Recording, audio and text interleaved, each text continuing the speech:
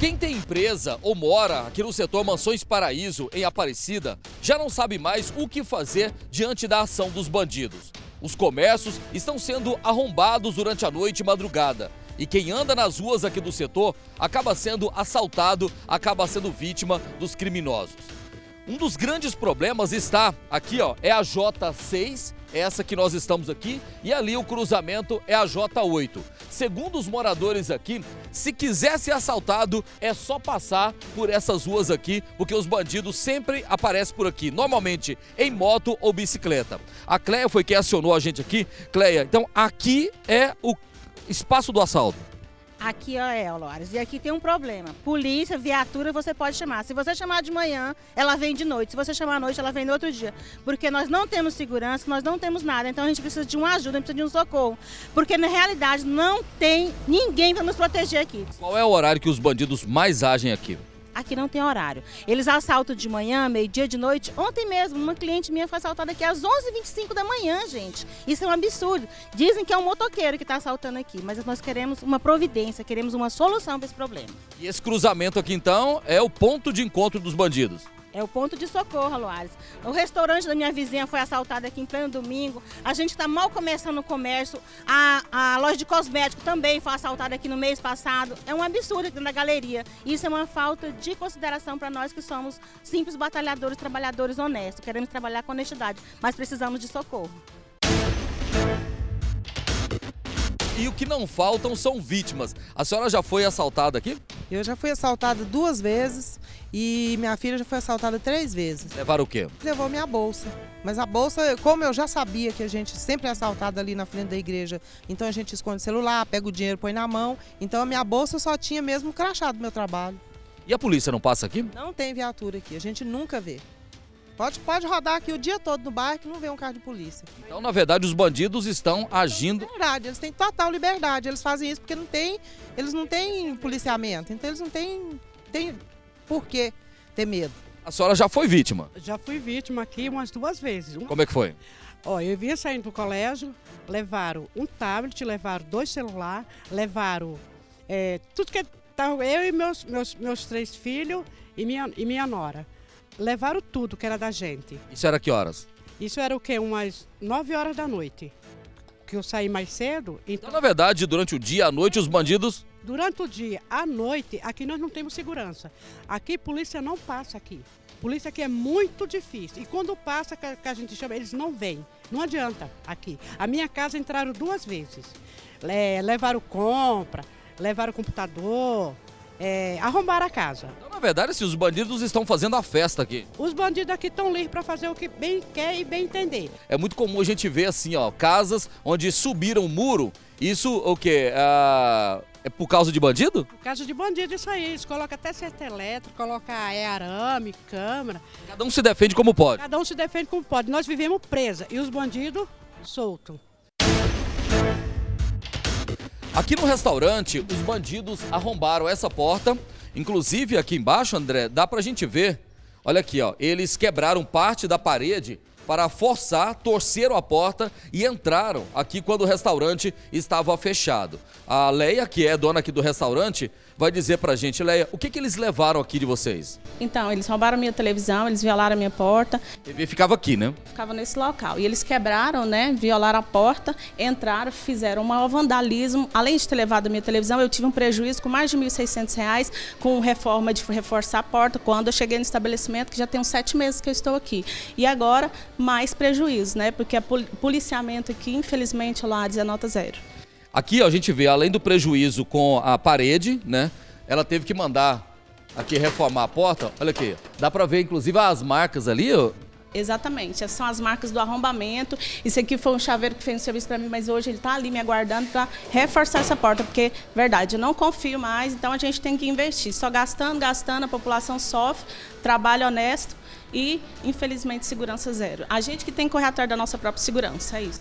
E aqui, André, a TV ficava aqui, ó, exatamente nesse ponto, aqui no restaurante, eles levaram o aparelho. Eles levaram o aparelho, levaram, a, na verdade, levaram toda a fiação que ficava aqui, porque tinha um conversor, essas coisas, levaram tudo, fez o limpa. Sem contar com o vandalismo dentro, né, que você encontra. Na verdade, é um desgosto muito grande. Você entra no seu estabelecimento onde você trabalha todos os dias honestamente e eles quebram tudo, levam, faz a maior bagunça, sujeira. E aqui nessa galeria que fica entre a J6 e a J2, né, os comerciantes aqui, todo mundo tem uma história para contar, né? Ou conhece alguém que foi vítima dos bandidos, ou as próprias pessoas foram é, atingidas também. A Lília estava dizendo pra gente que tem um escritório aqui da galeria que fica aqui em cima, né? Em cima, da administração da galeria. Ela já não deixa nada no escritório. O que, que os bandidos fizeram? Eles vieram até aqui e arrancaram um degrau de madeira e usaram esse degrau para arrombar a porta. Isso, eles entraram pela janela, que, quebraram aqueles dois vidros, entrou.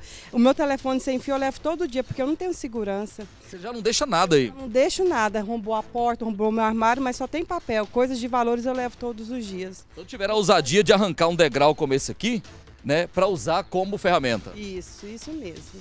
Agora, a polícia não tem passado por aqui? Não tem, a gente precisa, né?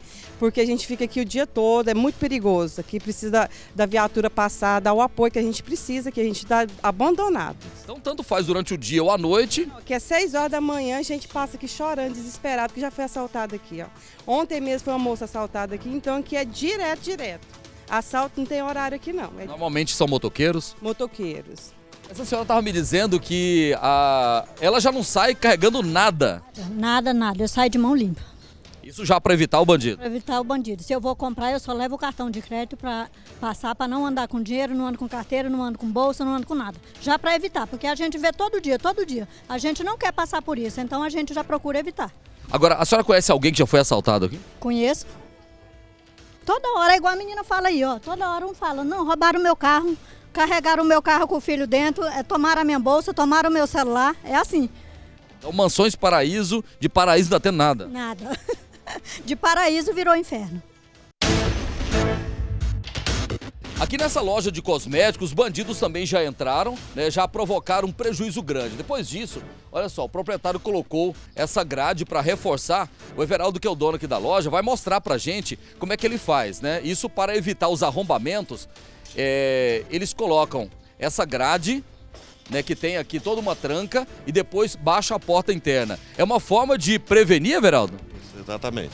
Quanto é que você investiu nesse mecanismo aqui para ajudar a proteger? Mas sempre eu estou investindo direto, mas dessa vez agora foi R$ 2.500, E você gastou só com a grade? só com a grade. E o prejuízo de mercadorias levadas aí pelo bandido? Já me arrombaram aqui umas cinco vezes e dessa última vez levaram uns 3 a 5 mil reais. Eles entraram durante a noite, À noite, o alarme toca, eles catam o que der, mas não aparece ninguém. aí depois disso você decidiu optar pela grade. Exatamente. Essa papelaria também que fica aqui na galeria, é, também já foi arrombada pelos bandidos. A Rosa Maria, que é proprietária, vai explicar pra gente. Como é que eles entraram aqui, Rosa? Eles é, enfiaram alguma coisa aqui de baixo, arribaram um pedaço da porta e entraram. Eles levantaram a porta. Isso, mais ou menos um pedaço, não foi nem até no meio, conseguiram entrar. Qual foi o seu prejuízo? Foi mais de mil reais na época. Ou seja, é, para o comércio é um rombo um negócio desse aí. Isso, justamente. Porque a gente trabalha muito, né, para ter, para poder colocar e a pessoa vem e faz um serviço desse. Como é que é trabalhar nessa insegurança aqui? É horrível, porque aqui realmente não tem segurança nenhuma. Aqui nessa farmácia, né, a gente vê né, que a porta fica fechada e o proprietário acabou colocando uma porta giratória, tipo essa aqui, ó, utilizadas em bancos, né, para evitar a entrada de bandidos armados. Então, essa porta giratória foi colocada aqui por causa dos assaltantes. É, nós vamos entrar aqui, nós já, inclusive, conversamos com o proprietário. é, ele abriu para a gente entrar aqui, justamente para a gente conhecer aqui um pouco mais. O Paulo vai explicar para a gente é, o porquê que vocês decidiram colocar essa porta giratória, Paulo. Nós decidimos colocar essa porta giratória justamente por grande número de assalto, a mão armada. E isso acontecia ah, com frequência. Nós registramos durante ao ano, de boletim de ocorrência, temos 18 boletins de ocorrência. Em um ano, 18 boletins. Em um ano, 18 boletins. Isso que nós registramos. Tem alguns casos que a gente nem chegou a registrar. Né? Então, só crimes registrados em um ano, Vocês já chegaram a registrar 18. 18 boletins de ocorrência. Agora, quanto é que vocês investiram nessa porta giratória aqui? O investimento aí, ele chegou a, a 11 mil reais. Né? Mas esse retorno compensou, porque pelo número de assalto que era, pelo transtorno que era de funcionários, é, vários funcionários chegavam a pedir demissão, porque é, ali era um grande transtorno, né? Era assim, o, emocional não aguentava, a pessoa ficava e chegava a ser ameaçada de morte. Então isso aí é, é, compensou esse investimento. Então depois que vocês colocaram a porta, não foram mais assaltados? Graças a Deus não teve mais assalto depois da, da porta giratória. Aqui nesse posto de combustíveis que fica bem em frente à J2, o Michel que é o proprietário, eles já foram assaltados aí muitas vezes, acredito que mais de 20 vezes? Mais de 20 vezes. Depois disso, ah, o que, que, ele teve que fazer? Teve que contratar segurança particular, teve que investir no cofre, onde entrou o dinheiro, já guarda no cofre, ah, ou seja, aumentou o seu investimento aqui. Com certeza, porque se ficar com dinheiro no bolso, o bandido é alvo fácil, né? Então, assim, o sonário fica sendo, então é assaltado várias vezes. Então tem que fazer um investimento tanto com segurança armada, né? Contratar uma empresa especializada para fazer a segurança, porque infelizmente o Estado não consegue oferecer essa segurança para nós. Só para que o público possa ter uma ideia, quanto é que custa um segurança é, para trabalhar para você aqui? É em torno de 4.500 por mês. 4.500 por mês? 4.500 por mês. Se a gente não pagar, não tem jeito. A gente é alvo de bandido todos os dias praticamente aqui na nossa região. Ou seja, para evitar o bandido, o investimento que o empresário tem que fazer é muito grande. É muito grande, com certeza. Porque às vezes o investimento você pode estar oferecendo uma qualidade maior para os frentistas, funcionários, até mesmo para o posto, a gente não consegue, tem que reduzir para pagar uma segurança armada. Mudou o horário de funcionamento por causa da violência? Sim, tivemos que mudar. A gente trabalhava diurno, noite, né? Então temos que reduzir, fechamos hoje 11 horas, porque se passar disso, a bandidagem é assalto todos os dias praticamente. Funcionava 24 horas? Funcionava 24 horas.